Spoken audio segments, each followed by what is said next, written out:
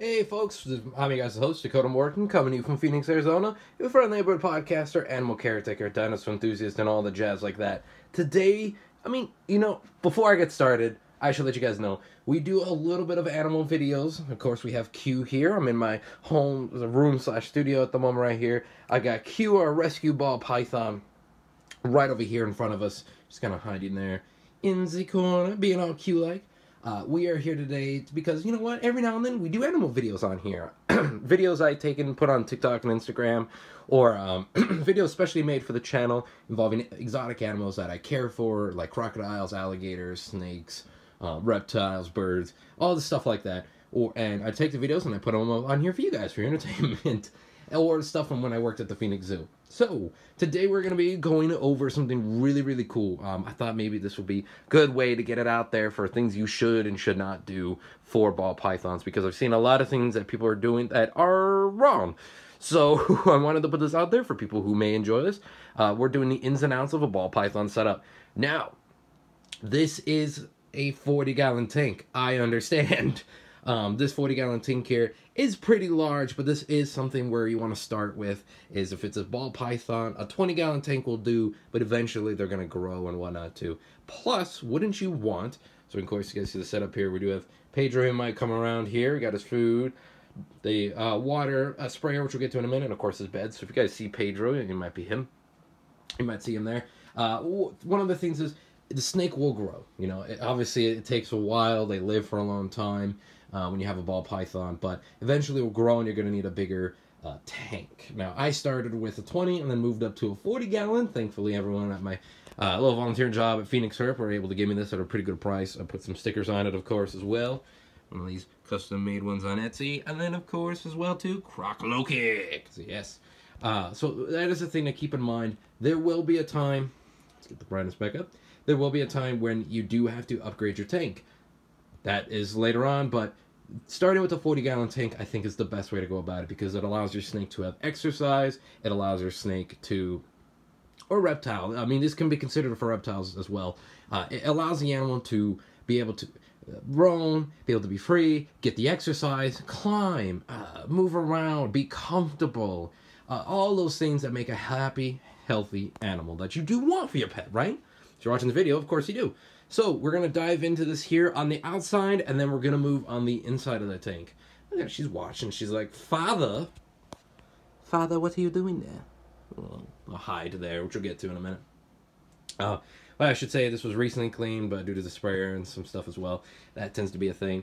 So, you know, uh, 40 gallon tank, I get it, is a little bit of room, but make do with what you will about that. Like I said, we'll go to the inside and we'll talk about foam walls and such like that as well. Uh, outside of the tank, oh, I should make it clear too, this tank is looking weird because this is one where you actually have the ability to lock and unlock it on both sides there to make it so the drawer comes out on the bottom. I'm not going to do it, but the black bar there where the stickers are, those guys, actually, there we go the brightness going again. That actually comes out there. Once you take all the husbandry items out, you can take that out and change out your substrate. Makes life so much easier, which is why there's a black trim, of course. Excuse me, along the base there. So, outside as well, you're going to want a heat lamp. Now, the heat lamp, this is one of the bigger ones. I do have a 100 watt, almost 150 watt, I believe, in here. Uh, for heat lamp, for just a heat light, to make sure the temperature is correct in there. It should be around 80 to 90 degrees at all times inside the tank. Uh, and we'll get to humidity in a minute, but it should be that uh, temperature for the tank at almost all times. I almost touched that and burned myself. Ignore that. Uh, and of course, so UVB is very important, especially for your ball python or any reptile. UVB uh, light we have in here. I make it easier on myself. I have the heat lamp on one side, which you should always have. One side of the tank is going to have the heat lamp to be able to uh, make one side hotter that the snake is going to want to go into a little bit more as well as create the temperature and flow through temperature.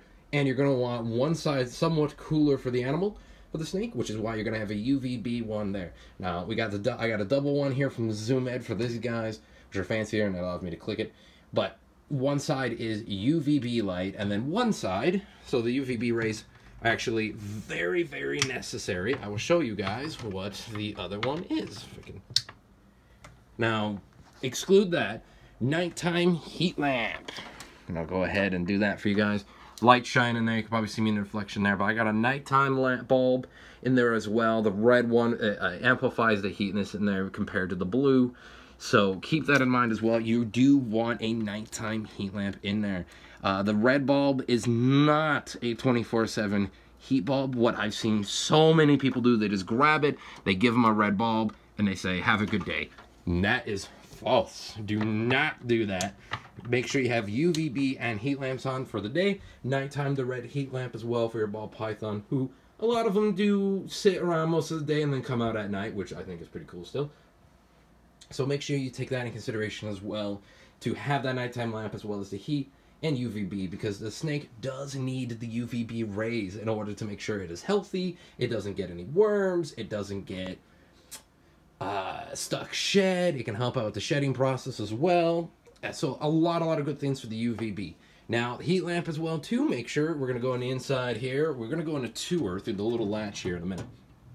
But in order to make it a little bit easier there, um, I'm going to show you guys the water dishes here. I have two water dishes. One in the corner, a little bit dirty because she was running around here like a maniac a minute ago. And of course, now she doesn't from when I record the video, but that's fine.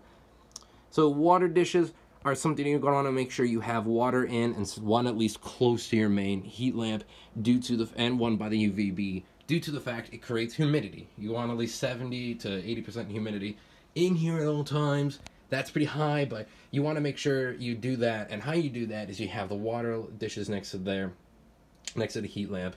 So that causes that. And of course, you have a nifty difty sprayer. So I got one of these from Walmart, 15, 20 bucks. One gallon, you fill it up, you open the su uh, sucker up, you open whatever. I just open the little hatch here, little manhole cover. Whoop.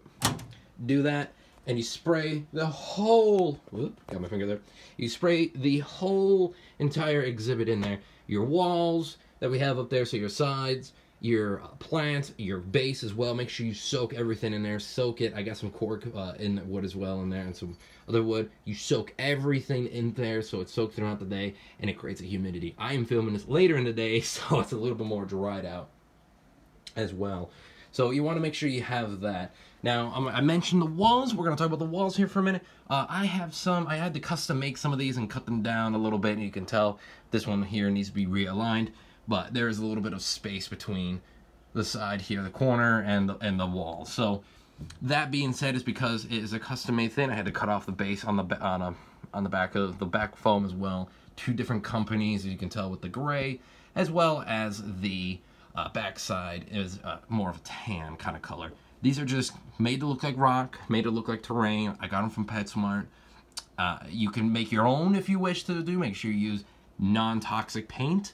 Uh, but I decided to do this until I make this a bioactive enclosure, which is a video we'll do one other day, to say the least. So I believe that, and it does help as well too, for my caretaking expertise, I've seen this a lot, that if you put up an enclosure, the walls in there, no matter, even if it's just one, it helps your snake behaviorally a lot more than you think. It'll make it so the animal feels comfortable, it'll make it so the animal feels more secure, and feels more safe in enclosure, so that way, although she's not going to be doing it now, because of course that's how she rolls, uh, it makes it so they will roam around the enclosure. They feel safe and secure. They don't have a billion things coming at them. Yeah, they got one giant side, but that's about it. Uh, so we have here the fact being of the walls and also keeps inside, it also keeps your heat insulated as well as keeping your humidity insulated as well too. So there is that. Now speaking of happy and healthy snakes, you're going to want two hides. Even though you can't really tell from this angle here, you can kind of vaguely see the hole in there. We'll take a tour to the inside in a minute from what she sees. And of course, it ties into the heat lamp here. You do want two hides. Now I do have a couple different hides. This one over here on the cooler side is a little bit more open because that's okay. She feels more comfortable, it's safe, secure, and whatnot as well.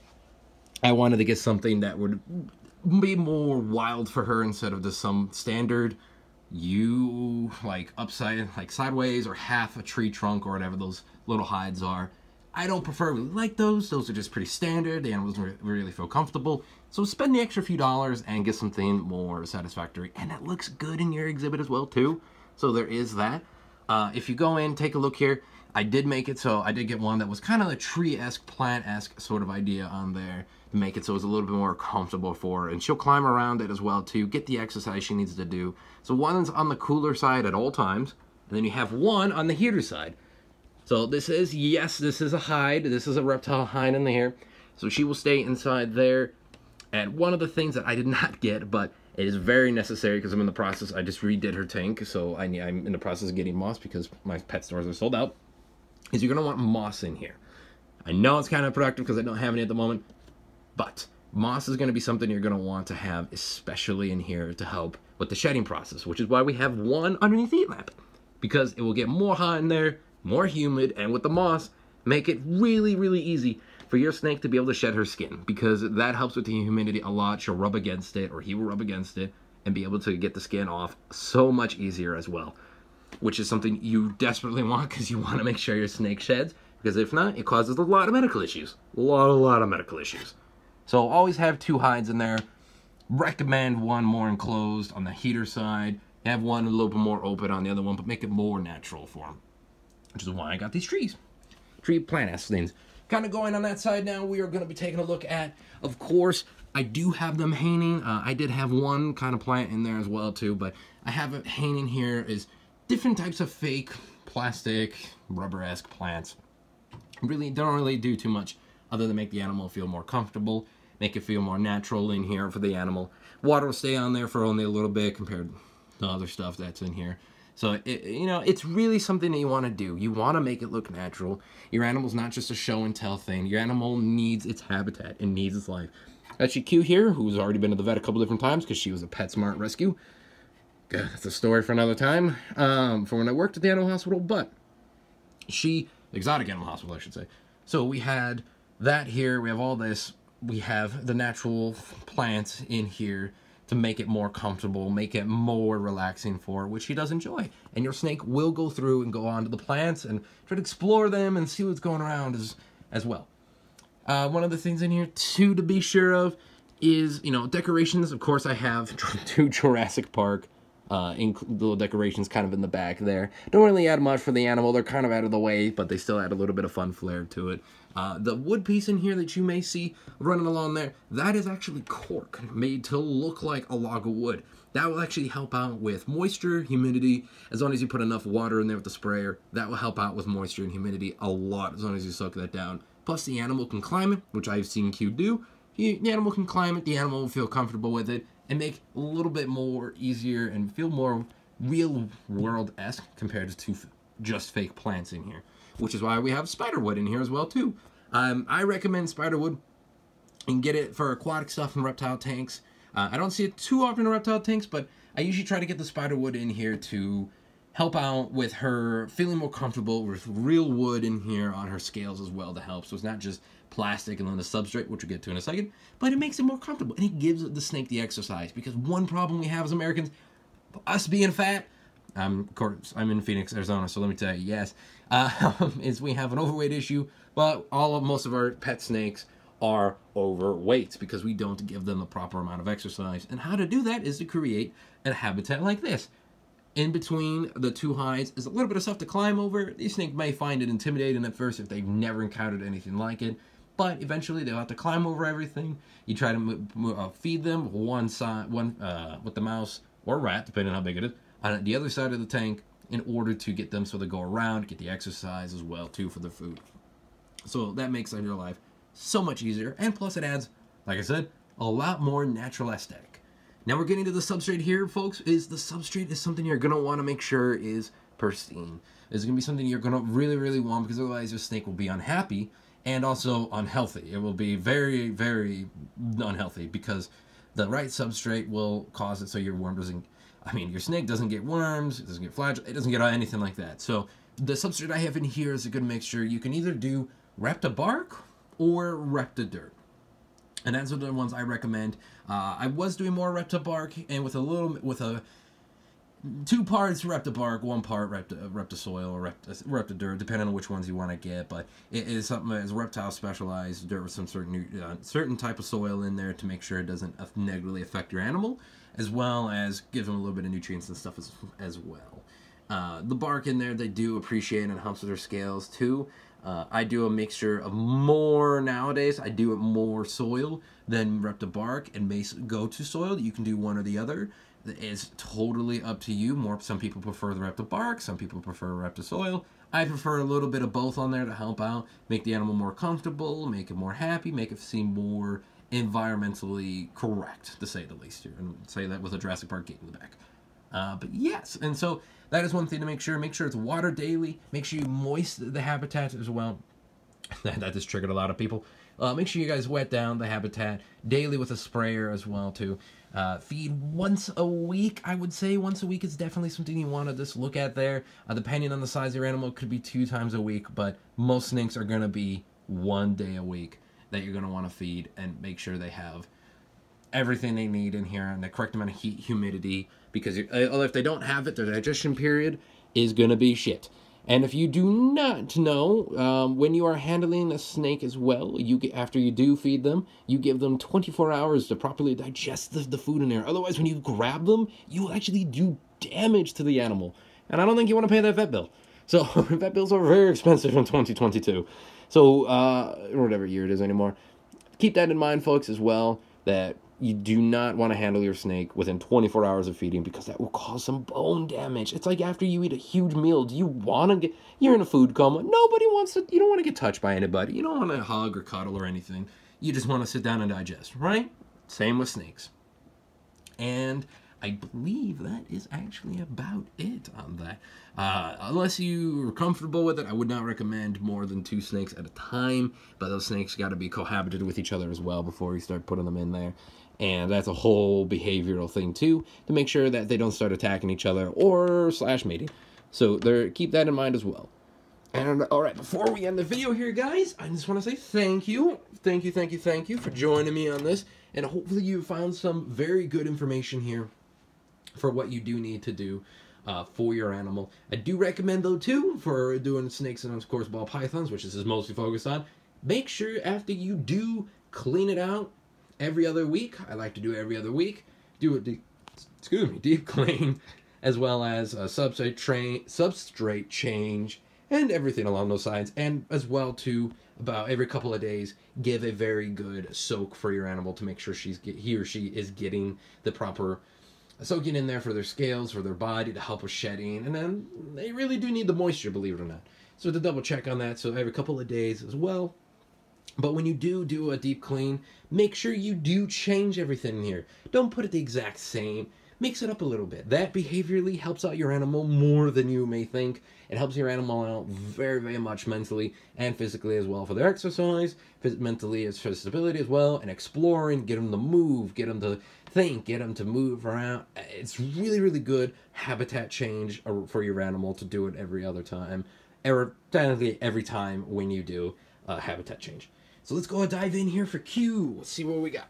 All right, QQ, you gonna be good for the people of YouTube? Q, hello. Hey, sweetheart. Yeah, this is Q's world.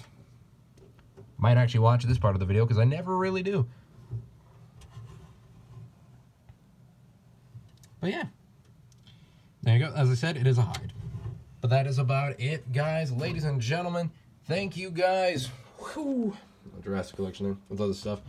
Thank you guys for joining us on the video. Hopefully you guys found it very interesting or, you know what, very, very informative. Stay tuned for more animal stuff here on the channel because between being an EAMT and also working in a wildlife rescue for reptiles, you're going to see a lot of stuff here. So stay tuned for more of that, folks. Subscribe on the channel. Leave a like if you guys enjoyed it. Comment down below the things you do differently or you think that I'm doing wrong. Uh, this is years of expertise coming in. So, uh, and I can take the hit. You guys all rock, everybody. Thanks for joining me on this episode. And of course, stay creative, everyone. And make sure you keep animals safe, will you?